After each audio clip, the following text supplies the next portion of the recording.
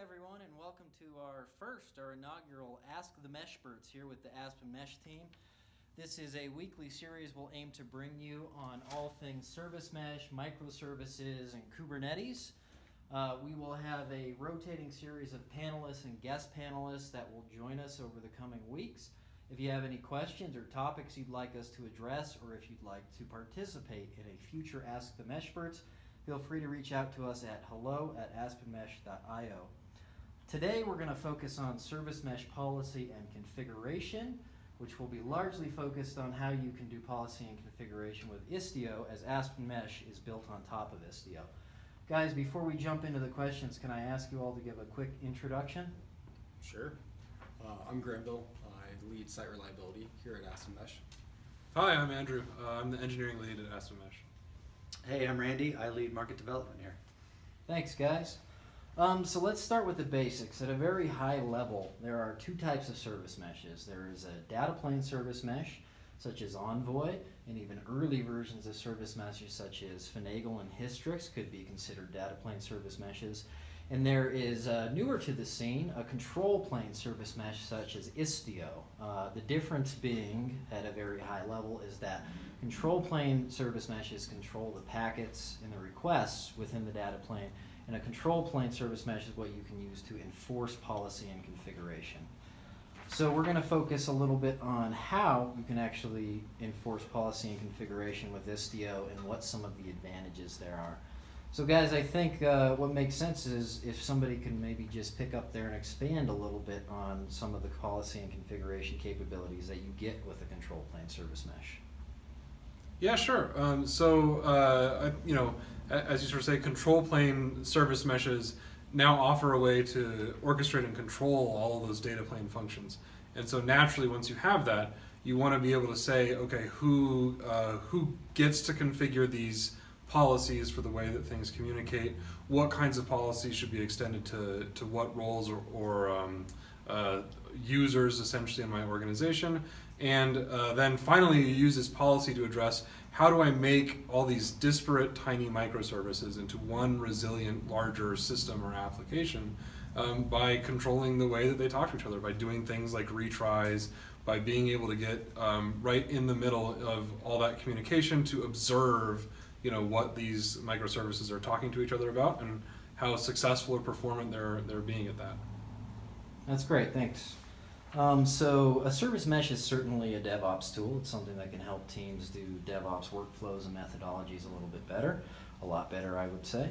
Um, let's look at both sides. Let's think about the ops side. Uh, usually, when we're thinking about cloud native and microservices, that's someone like the platform owner. Uh, how can the platform owner use a service mesh to understand a bit better how their system is making the choices it is and how their developers are building on their platform? Right. So um, the the um, earliest sort of data plane service meshes provided a lot of this capability, but um, now that you have platform uh, platforms like Istio that sort of bring all this together and collect it in one place, it's a lot more accessible to platform owners because they can get cross-cutting views across all the different microservices in one place and they get to see the same information the same way everywhere.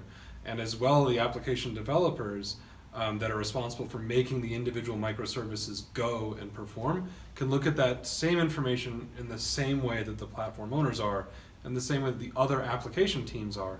So when they're trying to figure out one of these complicated cross-cutting issues, they're, uh, they're starting by looking at all the same information collected in the same place, collected the same way, and that's a great head start for figuring out really hard problems uh, in distributed systems.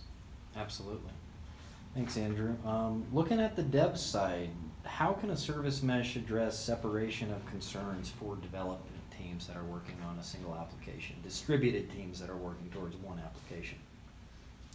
Yeah, um, so if, if I'm an individual developer, um, I want, I think, to have this sort of as much capability as possible be provided by the platform upon which I'm running. And a lot of these sort of communication patterns, you know, I, I face a choice. I can accumulate these piecemeal over time, retries or good security like mutual TLS or something like that. Um, and then uh, naturally they'll be different everywhere, and I'll spend a lot of my time thinking about how they are in, in my services that I'm responsible for. Uh, if I can push that down and just consume it from a platform, one way common everywhere, then um, that's a that's some stuff that I don't have to worry about, and that's great because then I can worry about the application logic, the thing that that you know makes me successful at my job, makes my end users happiest. Absolutely, which uh, can be a very powerful thing, especially for enterprise teams that have very large distributed development teams. Definitely. So, Randy, um, one of the things we do here at Aspen Mesh is we focus on service mesh for the enterprise. There are definitely some unique concerns around how you would implement service mesh if you are a large organization. Can you talk a little bit around um, some of the unique concerns around policy that enterprises have? Yeah, I would say so. Around policy, there's a couple things that enterprises are interested in. Um, one of the first things is scalability. Um, and how am I going to control things when I get to 60 or 600 microservices, not just the six that I'm playing with today when I'm uh, testing things in my test environment. Um, and so the question of, you know, how can I how can, how can I control things at scale? Policy is the answer for that. And with the control plane uh, service mesh, you get the ability to abstract that policy up to a layer where you can think about it from a kind of a you know a business logic, a security point of view, um, and then push that down uh, to the sidecars that are kind of handling this um, on an application by application level. So that's the one area. Uh, the other area is you you want uh, you want policy to work in a way that works with your organization, and every, and every organization is different. We've talked to a lot of customers, and every single one is unique and custom in its own way. And so what that means is, from a policy point of view, you need uh, the right people to make the right decisions um, around their applications. And you need the administrators, platform owners, to be able to make the right uh, right decisions and take the right actions um, at scale across an entire uh, an entire footprint. And so what that means is uh, you need to be able to have that word right, which I mentioned several times, um, be correct for you, and policy uh, implementation uh, through a service mesh gives you the ability um, to control that at a nuanced level um, so that everybody can do what they need to do. That makes perfect sense, and we, we certainly do talk to uh, customers and users across a broad range of industries that all need different things.